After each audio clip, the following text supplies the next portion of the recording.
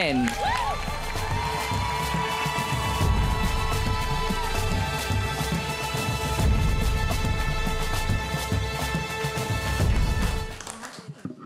Hello. Hello. Hello, everyone. Guys, guys, guys, Droughtlander is over. It's over. Ah. The show- Come on! The show is back this Sunday, 8 p.m. on Starz and the Starz app. This is super exciting for all of us. You can see the enthusiasm right now. How do you, uh, you for you, Droughtlander's been over for a while. You've been making it. So uh, I, is it the same level of excitement when you get that first script that It's you're monumental. right now? It's monumental. There's, the rain has come to New York. Yes, It's we like- brought it with us. We're, we're trying to create Scotland right here in Manhattan. I just imagine you uh, standing outside uh, Ron Moore's window uh, as he's typing away, and you're just like, you, "Do you have scripts ready yet, Ron? Can, can, can you show us, Ron, what's next?" Uh, Ron, where are you? Where are the scripts? Ron, Ron, Ron. No, Ron wrote the first script and uh, uh, for the season, and it's um, it's a, a terrific start to the to the season, and the, the whole season is really strong, I think. But um, it's it's an amazing episode. right, right. Uh, coming back, uh, the one thing that was different this time is you weren't together in the first episode, and you're not together for a little while. Maybe, maybe that's why long. it's the best. Ow, that hurts just a little bit. Uh, but what was that like as, as performers, not having your, your other half there to, to start the season? Well, what we haven't told you is that um, in all of those clips, that's actually Sam playing Frank. It's Um, There we go. He's just so good. want to know where you've been. Um, no, I mean, for me, it was slightly different because I, I was working with my regular homies. You know, I was working with Tobias and Sophie. Um, so I didn't miss him at all. I don't know. What were you doing? No, I'm. It was um, no the first episode. You know, we do say goodbye to uh, a lot of our regular characters, and um, it's very. uh, You know, it's the beginning. It's a new beginning for, for the show. We we obviously end up in uh, in Jamaica, and which we were shooting in South Africa, and there's a lot of new faces and a, an- a new look to the show. But yeah, the first first few episodes are, are very sad, and there's um, Yeah. It was it was hard to say goodbye to a lot of our favorite people. Right, right. You were joking about it before, but I mean, it- how how closely were you sort of following the idea of Jamie and Claire being separate? I mean, did you stay away from Sam on set? Did you make a point of like d- doing the the wedding day thing of not seeing far your husband? away. um, well, we were, you know, we were working in very different worlds. I mean, you know, I, I was sort of doing the 40s, 50s, 60s. I was a lot, you know, a lot of my stuff was studio based or Glasgow city based, which is Boston, of course. Um, and Sam's stuff, they were out in fields that were, where was it? Like Wet. I think. It was really wet and mucky. Um, so we didn't see a lot of each other. I mean, we did shoot a little bit out of sequence, so it wasn't like we were separated completely and then we started with the reunion. um, but it did feel, it did feel like, you know, I, there would be a couple of times we'd run into each other and we're like, oh my god, like what have you been doing? like, how are you? So it was, it was really nice when we finally got to get into the the proper gritty stuff, meaty, steamy stuff. What, what did you discover yourselves uh, about yourselves as characters and performers, maybe being separated, having to sort of build your own life uh, in in this way as your character? Were there were there different aspects of your performance you hadn't considered before? I mean, I think both of us definitely feel our characters are very different in the beginning of the season. Um, Claire, for sure, you know, she's she's somebody who's lost a part of herself. I mean, she's had to put a, a huge part of herself to one side, and you know, she's a, someone who's very sexually liberated and very passionate, and that part of her is gone for the best part of twenty years, and that has to have an effect on how you carry yourself, how you interact with people. I mean, she's also a professional doctor, so there's an authority to her, and I also think a slight rigidness to her in the beginning of the season. Um, but I'm pretty sure that when she reunites with Jamie, that those those layers kind of fall away, and she becomes that free and loose woman that she always has been. yeah, she can't, can't hold herself back. No, but it's um. Well, I mean, there there is an energy and a life to to the two of them when they're together, and I think so when they're apart. Um, yeah, I mean, certainly for for Jamie's uh, Jamie's story, you know, he's learning to live without the woman he loves, and and uh, he finds that very difficult, and he you know he, he's a shadow of himself, and uh, it's a, it's a long journey for him to to get back to the man that we know and love. And it's probably not until she returns that, that that's the case. Right, becomes a whole again, in, in, in a way. Certainly, something uh, w- w- being able to work in Let's the run more. present way- Uh-oh. Ron, Hello. we're not giving away any secrets, I, I think we're promise. sacked. Calling in. Uh, one thing I wonder, I mean, at this point, three seasons in, these characters are yours on, on, on the show. They exist on the page as well, that Diana, the great, great characters that Diana created, but you have a certain ownership of them after three seasons. H- how do you think your versions of them differ from what's on the page? Do you think, do you notice a difference between the, the characters in the book and who you're playing on screen? Well, that's interesting because I think when you read a book, you always, you know, I always think of it like we all play our own little movie in our head. So my reading of Claire is through the filter that I interpret her on the scripts as well. So, um, you know, I, I think, I think maybe I've tried to make Claire a little bit more earthy or relatable. I think you know. I think sometimes, uh, there you know, when you read a book, there's certain things that translate so well on paper that when you try and put it into action, it can be a little more. S- I don't know what I'm talking about. I don't know. I just I get It the sounds page and I very, do uh, what I try and do. No, it's, we were asked this question last night, and it's Right. like you know when you read the book, do you hear each other's voices or whatever? And um, it i- is a tough one because ultimately the book is different to the script, even though we try and stick as close as possible.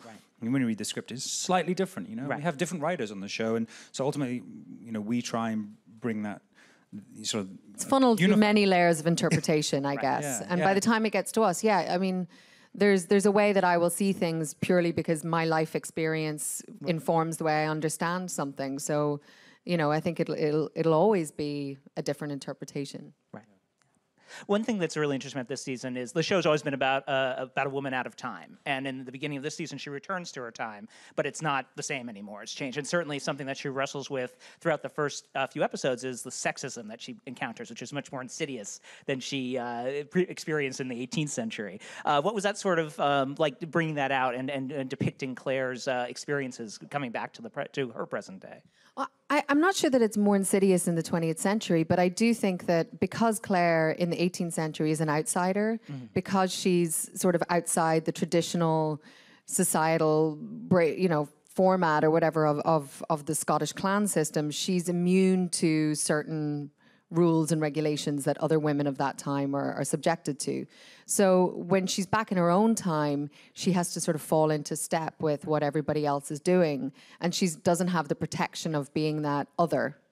And so that's why I think you can really notice it. And, and I think it's such a jarring thing because when we first meet her in, in season one, it's, you know, wartime. She's on the front lines with the men as a, as a nurse.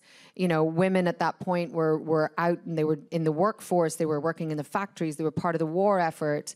And in the 50s, there was a real retraction. It was kind of like, okay, thank you for all of your work and all your help, but you can go back to the kitchen Yeah. and put on that really full skirt and the little blouse and put your hair in a ponytail and we'll all be really happy.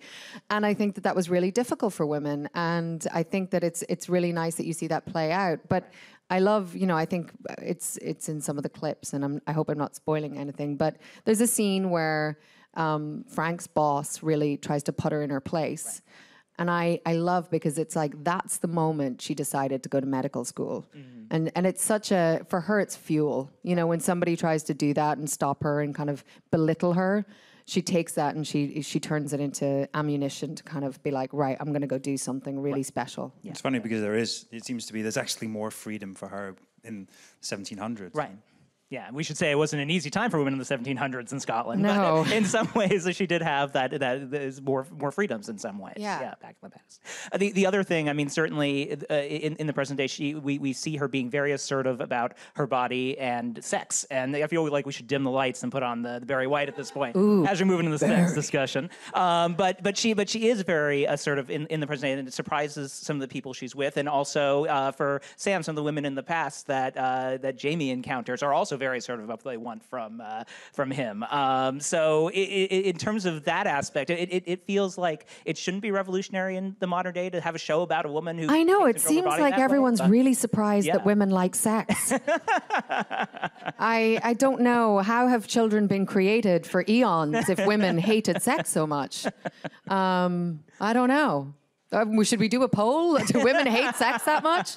raise your hands now.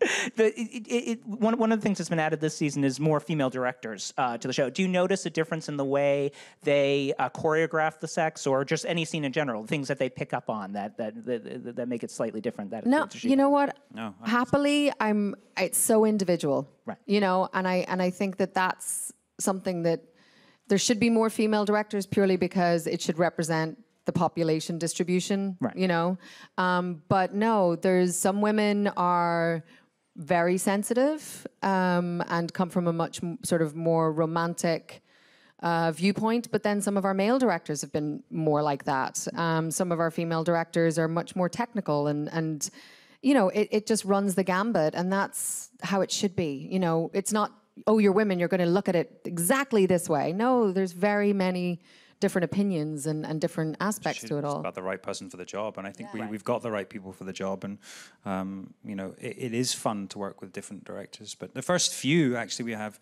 Brendan, you know, who was. Um, uh, it was kind of nice to start with him, and um, but then yeah, we had we had a real sort of uh, mixed um, group of directors, and I feel like each one brings a new, something different to, to the show. And it's amazing, uh, you know. I would say one of our greatest action directors was Anna Foerster. Right. um, who also was able to handle really sensitive material very beautifully. But one of our most sensitive, I think, romantic uh, directors was Metin. Um, so it, wonderful. you know, I think it, it- I, I- you know, I love and I, I, I love that Maril um, Davis really fought hard to try and get as many female directors as possible. But also, I love that it, it, it it's not. It's, it doesn't become a cliche that it's like, oh, the women are good at this thing and the men are good at this. No, and it's it's great to see that there's such variety among everybody. I think the show has this strength, you know, and and sensitivity, and I think that's really important. You know, it's not it's not a show for women. It's it's not. It's for everyone. It's Right. It's got so much more to it. We need more men. Come on. There's some here today, though, which I'm very excited Right. about. Hi. There's A couple guys in the audience. Hey! Hey. I will say for audiences of both sexes, uh, Sam, your butt gets a pretty good workout in a lot of the episodes this season. So uh, it- it- My I butt's getting a complex, that- by the way. Your butt does well too. I mean, yeah, there's there's a bit of butt. Or, um, but- But, but Uh, the, the other thing that was picked up uh, last season, we, we saw that beautiful episode where Claire lost Faith, uh, her child, with Jamie. Um, and in that moment, we saw, it was- told from her perspective because it was her loss. And then we raced to the end of the season with all the other events. I think this season we really see how that loss impacted Jamie and the loss of Brianna as well. Um, Sam, what, what are sort of what can you talk about in terms of fatherhood for Jamie this season and how he sort of thinks about it and what what what being a parent uh, in his head after suffering these losses? Yeah, I think that's uh, trying, trying to talk around spoilers here, but Sure. um, he uh, obviously it, it greatly affected him, and you know. A, a father can never quite experience it the same way that, that a mother can or that, that Claire does, but he he does greatly regret that, and and then to lose Brianna uh, is a tragedy for him. So he's lost his whole life, and and to rebuild that um, takes some time, and then. Uh, Without giving away too much, he maybe finds something else to put his life into. But again, it's never never runs smoothly for him. Um, it's something that he's always wanted, and I think uh, it's something that he yearns for, and, and it's a part of him that's incomplete. Right, right. Uh, n- neither of you have, have children yourselves, but were there parts you drew on growing up, uh, your memories of being a child that you wanted to, to bring into your portrayal of, of parenthood or, or, or, or thoughts about being a mother and father? yeah, I mean, I think. I think you steal from every moment in your life you can, or, you know, I come from a very big family. All my, pretty much all my siblings have kids at this point. So I'm an aunt to 11, 12 kids. Um, so yeah, I think you, you just try and draw on all of those experiences that you have or that you've witnessed. Yeah, I, I- mean, in Jamie's case, it's a it's a very lonely season for him for a while, and I think it's about companionship and about him wanting to to nurture something. And I think, um, yeah, it's it's very sad that he doesn't get to do that. I do want to talk about your uh, uh, co-star Tobias um, uh, Menzies, who's who, who is, Who? is It's me. Oh, yes, right here. We, we, we- you can put on your other Thank you. face now. Thank you. Um, Oh, what's funny about this season is he gets to be Frank more often than he has in the past, and you encounter him as Frank more often than he has in the past. Is it funny seeing him in that other persona after being with Black Jack for so long? And, I, I love working with Tobias uh, in the Claire and Frank dynamic. Um, you know, I think it's a really sad, I mean, it's so tragic, those two, because, you know, especially Tobias plays Frank with such heart and there's such a, a gentleness to him. And, you know, he's such a good guy in a way. I know in the books he's not as good of a guy, and later on he's not a great guy, but you know, he takes back this woman who's been away for three years, comes back pregnant with another man's child, and she says she's been in the past, and he's like, "Okay, I'll take you back." um, you know, and and he really does. He does try very hard to give her space to understand, but she's, you know, she's experienced something far deeper and far greater than she ever felt for Frank. And so you can never really go back after you've felt something like that. And so the tragedy is that Claire isn't getting what she wants, Frank isn't getting what he wants, and the two of them are good people trying to make the best out of a really messed up situation. And um, it's just really tragic to see them live in this compromised, sort of unhappy life. You know, they they do spend 20 years together. So there there has to be I think Tobias and I really wanted to not make this like she doesn't love him, he doesn't love her, you know, they're miserable. I don't think you two people would spend 20 years together if that was the case. I don't think Claire would spend 20 years with someone if that was the case. So you know, I love that it's not just all Frank chasing Claire right. Um, you know, she's essentially a widow in terms of of the the Claire Jamie relationship. So she has to try and want to succeed. She has to try and want happiness. Um, I think otherwise she would be kind of a pathetic character in some ways. And she's a survivor, and I think she would try and and, and succeed in every part of her you know life, whether it's a relationship or career or motherhood. Um, but the tragedy is is that she she never is able to replicate or match what she once felt. So, um, but he's he's wonderful in this role, and and it was great to work with him so much. he really, without giving away uh, any other sort of spoilers, but he, uh, he, he kind of, there's a moment and you have to watch out for it, but he really beautifully ties, actually, I think the two characters, Blackjack and Frank, there's just a moment uh, that he ties the two together. I'm going to ask you about that moment later. Well, we shall talk about it. If you see it in the episodes, tweet at us and we'll, fi- and we'll figure it out. Tweet at Sam and he'll tell you if you're right or not. Which scene was it? so, so, Sam, I don't know if people know this, but we have a uh, superhero in our midst. Kind of, Sam played uh, Batman, uh, The Dark Knight, uh, in a Batman Live stage show. Um, I don't know if you had seen this before, but I want to confirm. Uh, there's this. They made a Tartan Lego Batman.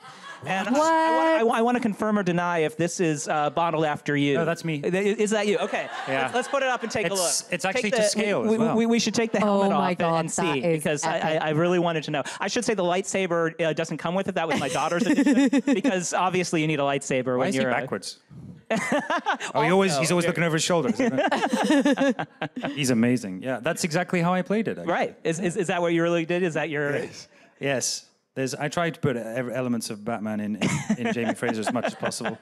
More than you'd know. Sometimes he's like, It's a spoiler, but I do wear a, I do wear a, a mask uh, in most of the season.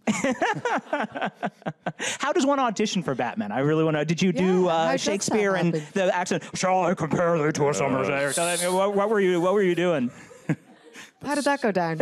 Well, how did it go down? Um, yes, it was uh, a very odd experience, but it was a lot of fun. Uh, yeah, it was. Uh, it feels like No, no, no. How did the audition go down? yeah, that's like thank you, thank Don't- you. don't I got like- the backup here. We're gonna we're gonna make this happen. It was like a stage play, you know. So it was actual scenes. It was like doing a bit of theater, and so there were scenes as Batman, and there were scenes as Bruce Wayne, and um, um, I would love to play him again, maybe on screen. Didn't Ben Affleck pull out of the film? That's right. He did. Yep. I come with Zack my own Snyder Lego or backup. whoever is directing. May we present? Zach. Sam Heughan. Scottish Batman.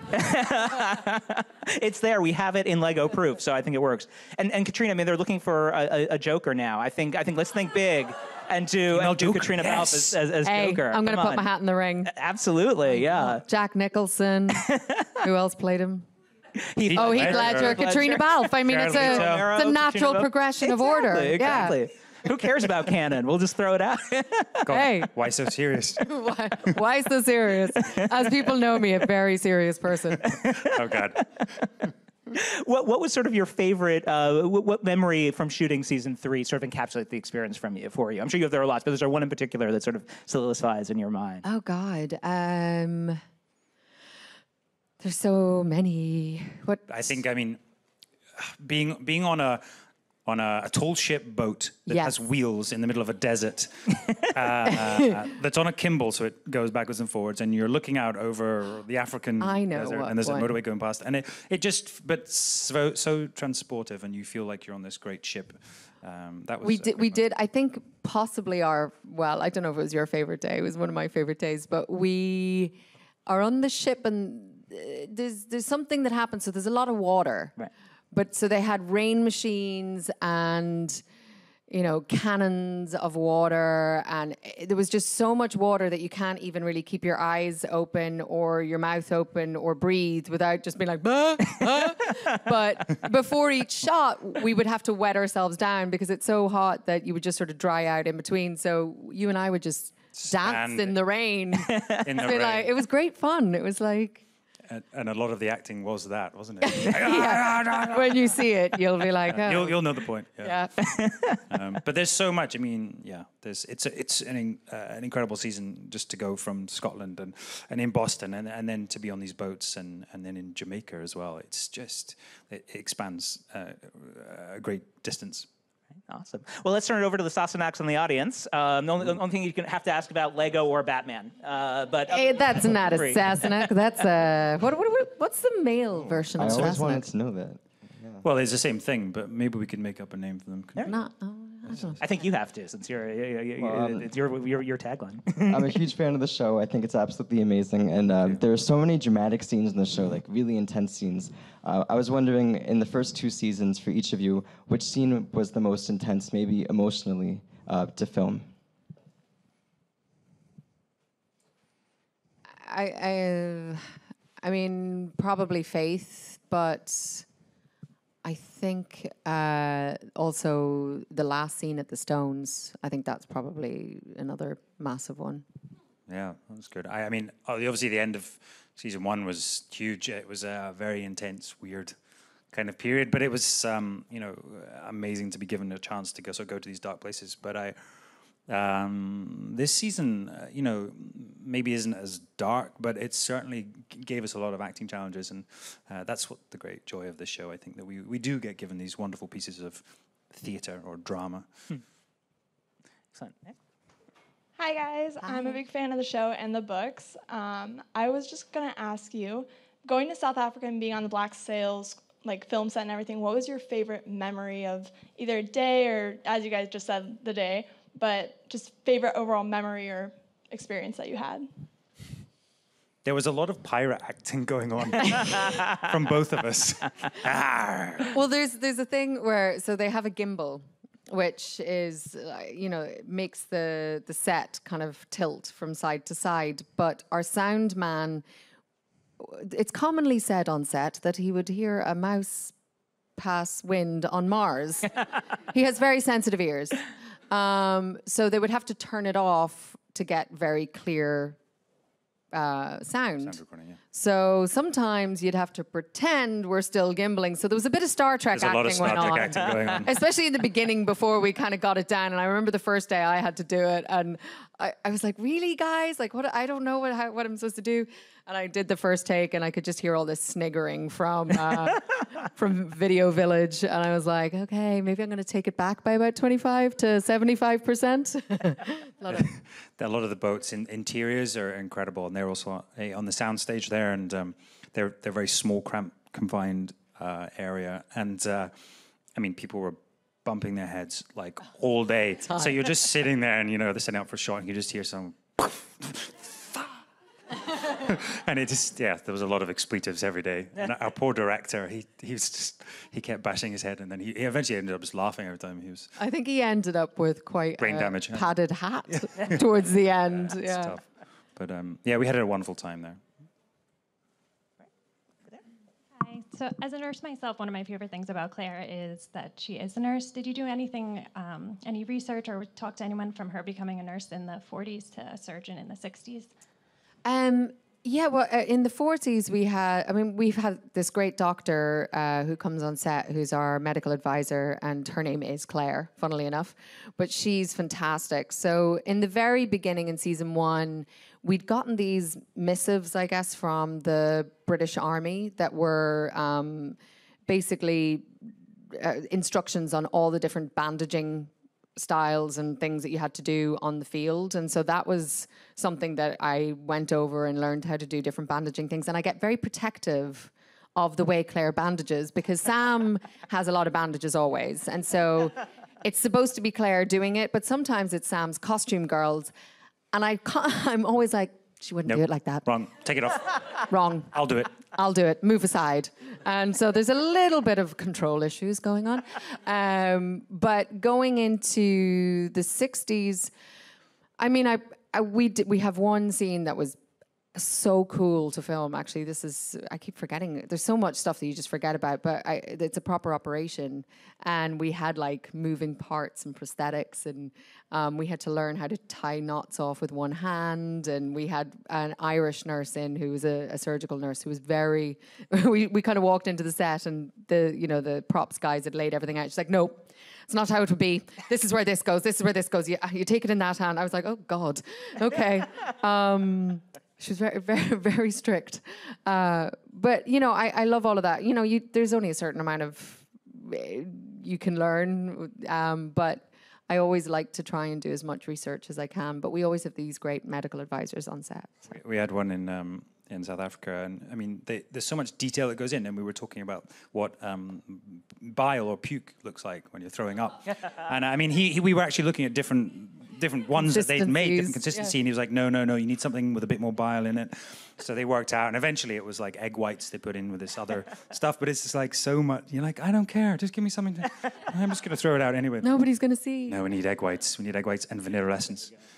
Career goals, your- bandit critique, and, uh, and and bandage pad critique. Yeah. Let's see. Who else we going? Right over there. Hi, I'm a really big fan of the show. I'd like to know what is the best part of your working day? Oh, g- walking on set. It's it never gets old. Um, I think there's something really magical about film sets, um, especially when you walk through studios or walk through lots. And there's carpenters hammering away. There's people moving things. It's like a little city of.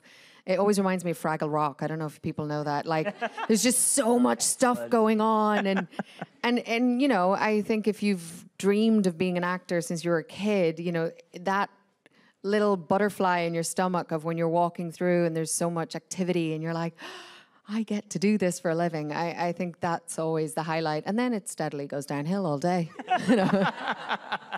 That's true. After like the 12th take. You're like, hi, good morning, everybody. I hate you all. We're still doing this scene. No, but there's always, you know, especially, you know, we said in one and two, the seasons, you know, in Scotland, you know, there's always a moment where you're just looking out on location and you're just like, wow. Uh, and I think on this this season, especially, I mean, there was one day we were shooting on a beach in South Africa, and there were dolphins in the water next to us, maybe a, a few hundred feet away, and they they were like trying to attract our attention the whole day. and I was filming, shooting a scene, and I'd just be like, like side eyeing them the whole time because they were like waving their tails, and it was so fun. Check They me wanted a out, cameo. backflip. Come on. They're like, get us into the show, too. All right. Well, thank you so much, guys. It's been a lot of fun. Thank you for coming in today. Watch Thank you you so for much. having us. It Thank you for starts coming. Sunday, September 10th, 8 p.m. on Starz and the Starz app. Drink them up all the season. Drink it up. Droughtlander's over. Thanks, everyone.